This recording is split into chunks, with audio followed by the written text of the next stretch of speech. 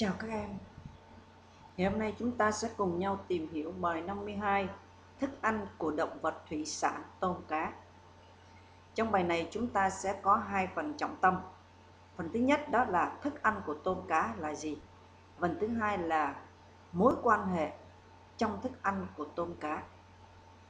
Thường thì chúng ta sẽ xem trước sách giáo khoa ở nhà để chúng ta sẽ nắm bài một cách nhanh hơn và chủ động Vậy cô sẽ đi vào phần đầu tiên. Vậy thì con người cũng con người ăn tôm cá. Vậy thì tôm cá ăn gì để lớn lên để cung cấp lại chính thực phẩm cho con người. Phần 1 La Mã ta tìm hiểu những loại thức ăn của tôm cá. Thức ăn của tôm cá gồm có mấy loại và đó là những loại nào? Các bạn đã nghiên cứu sách ở nhà có thể trả lời dùm cho cô đó là gì? À, hai loại thức ăn tự nhiên và thức ăn nhân tạo. Vậy thì thế nào là thức ăn tự nhiên? Phần một nhỏ thức ăn tự nhiên. Vậy thì kết hợp với việc ta xem trước sách ở nhà. Ai có thể cho cô biết thức ăn tự nhiên là những loại thức ăn nào của tôm cá? Các bạn có thể liên hệ việc ta có nuôi cá tôm ở hồ cá kỳ ở nhà đó. À, đó là chính là bo bo, có nào rồi kế đến lăng quăng hoặc một số là rong rêu à, hay nói cụ thể hơn, đó là một số tảo, rồi các con trùng, rồi các loại ốc, nghêu. Vậy thì thức ăn tự nhiên là thức ăn sao? Thức ăn tự nhiên là thức ăn có sẵn ở trong nước, đúng không các bạn? Và nó gồm các loại thức ăn đó là gì? Vi khuẩn, thực vật, phù du hoặc đáy, động vật phù du hoặc động vật đáy và một số mùn bã hữu cơ. Quan sát ở hình 82 sách giáo khoa 141, các em sẽ sắp xếp cho cô thức ăn tự nhiên của tôm cá theo 4 nhóm. Thực vật phù du, thực vật đáy, động vật phù du, động vật đáy. Qua hình 82. Rồi nhìn lên màn hình ta có thể thấy được thực vật phù du, thực vật đáy, động vật phù du, động vật đáy gồm các loại thức ăn nào. Rồi các bạn quan sát cho cô, đây là một số hình ảnh các sinh vật sống ở trong nước. Thực tế, có hình chụp. Nhóm thực vật phù du có tạo khuê, tạo dung, tạo ba góc. Động vật phù du ta có cyclop hay còn gọi là giáp sát và trùng ba chim. Thực vật bậc cao ta có rong mái chèo, rong tôm. Động vật đáy ta có ấu trùng muỗi, một số động vật đáy đó gì ốc, ngao, hến, dung mồi dài. Đây là những hình ảnh thực tế. Ở bài 51 bài 52 ta vừa mới học phần 1 thức ăn tự nhiên. Và trong bài 53 ta sẽ có một bài thực hành là quan sát các thức ăn tự nhiên bằng cách ra ao hồ hoặc hồ cá ở nhà có mình vớt lên để mình nhìn và mình quan sát ở trên đây cô đã minh họa trên hình. Các bạn nhìn, cô có bốn mẫu thức ăn trùng chỉ, bo bo, trùng quế, vi tạo. Thì cái phần thực hành này các bạn sẽ thực hành bằng cách nhìn hình cho cô, quan sát cho biết màu sắc và hình dạng các loại thức ăn này. Thì các bạn thấy trùng chỉ có màu gì ha? Và nó dài hay nó ngắn à? rồi bo bo, nó cũng có màu hồng hồng, không đỏ như trùng chỉ và là những chấm rất bé. Còn trùng quế thì nó dài và nó mập hơn và vi tảo là những loại thức ăn có màu xanh. À, nó sống ở trong nước. Vậy thì qua phần à, thức ăn tự nhiên này ta có thể biết được một số hình dạng màu sắc. Qua việc thực tế ta có thể qua ra sông ngòi gần nhà mình nè hoặc là trong hồ cá. Phụ huynh các bạn cũng mua một số thức ăn về cho cá ăn ở nhà đúng không nào? Vậy thì ta tìm hiểu tiếp theo thức ăn nhân tạo là gì? Và có nguồn gốc từ đâu và có những nhóm nào? Thức ăn nhân tạo, đó chính là thức ăn do con người cung cấp cho con tôm cá. Con người tạo ra để cung cấp cho con cá.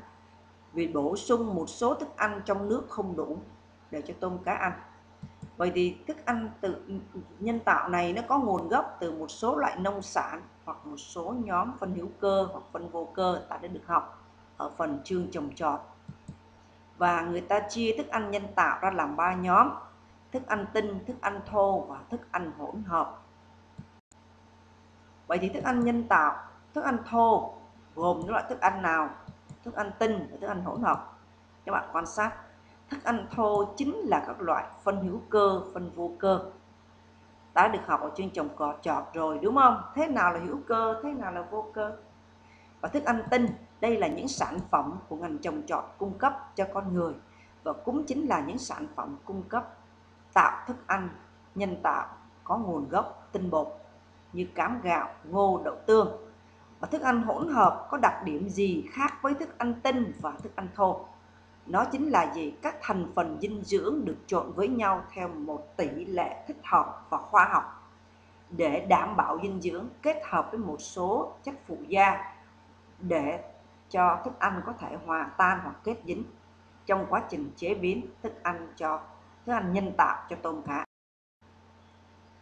Vậy thì các bạn quan sát ở hình 83 trang 142 kể những loại thức ăn tinh bột mà em biết qua hình, đó chính là gì? Và những loại thức ăn có nguồn gốc có nguồn gốc từ các loại thức ăn thô thức ăn nào và kế đến thức ăn hỗn hợp có những đặc điểm gì khác với thức ăn tinh và thức ăn thô vậy thì ở trên hình các bạn thấy thức ăn thô đó chính là các loại thức ăn ngô đậu tương và cám thức ăn hỗn thức ăn thô xin lỗi thức ăn tinh bột là thức ăn có ngô đậu tương và cám và thức ăn thô đó gì phân lân đạm phân hữu cơ và thức ăn hỗn hợp. Khác với ăn thô là gì nó được kết hợp cả thức ăn thô, cả thức ăn tinh. Theo một tỷ lệ thích hợp, cộng thêm một số chất khoáng, một số phụ gia để tạo độ kết dính hoặc có thể hòa tan ở trong nước. Nắm được chưa? Vậy thì các bạn có thể so sánh cho cô thức ăn tự nhiên và thức ăn nhân tạo có điểm gì khác nhau? Các quan sát sơ đồ. Thức ăn của tôm cá, thức ăn tự nhiên thì được chia làm bốn nhóm. Thực vật phù du, động vật phù du, thực vật bậc cao, động vật đáy. Và đây là thức ăn có sẵn ở trong nước. Còn thức ăn nhân tạo là do con người tạo ra. Nó gồm ba nhóm, thức ăn tinh bột, thức ăn thô và thức ăn hỗn hợp. Vậy thì các bạn thấy, giữa thức ăn nhân tạo và thức ăn Ừ, tự nhiên có điểm gì khác. Và khác thứ nhất, thức ăn tự nhiên sẵn trong nước và có bốn nhóm. Thức ăn nhân tạo là thức ăn do con người tạo ra và có ba nhóm. Chúng ta vừa mới tìm hiểu thức ăn của tôm cá. Vậy thì thức ăn của tôm cá, nó có mối quan hệ như thế nào? Chúng ta tìm hiểu phần hai la mã quan hệ ở thức ăn. Các bạn quan sát sơ đồ 16 muối dinh dưỡng hòa tan, đây là một số loại, các loại phân hữu cơ. Người ta có thể bón vào trong nước nuôi thủy sản hay còn gọi là môi trường sống của động vật thủy sản, tôm cá. Để từ những loại phân hữu cơ này tạo thành một số chất dinh dưỡng hoặc là tạo thành một số các nó tự, tạo ra một số thực vật, động vật sống ở trong nước. Các bạn quan sát sơ đồ. Và trả lời các câu hỏi như sau.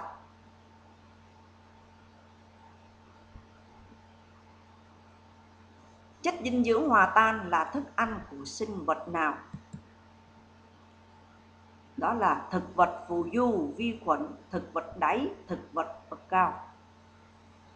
Động vật phù du ăn những sinh vật gì? Đó là thực vật phù du, vi khuẩn, chất vẫn. Động vật phù du là thức ăn của sinh vật nào? Đó là động vật đáy, tôm cá. Chất vẫn là nguồn thức ăn cho sinh vật nào? Đó là động vật đáy, động vật phù du và tôm cá.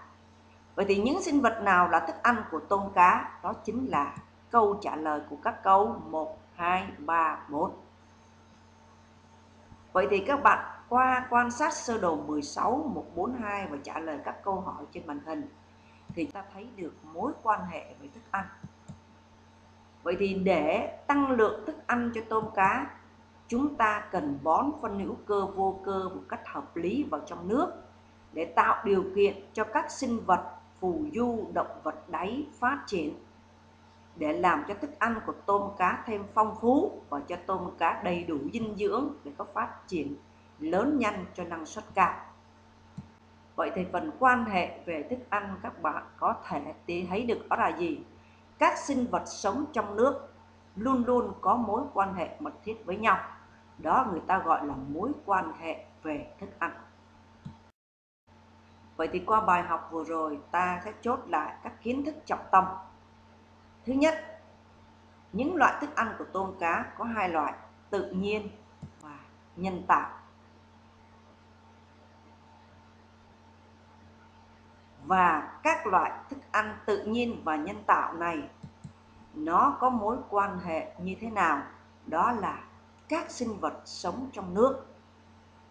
Rồi việc ta bón các phân hữu cơ vào trong nước để tạo ra thức ăn tự nhiên. Người ta gọi đó là mối quan hệ về thức ăn.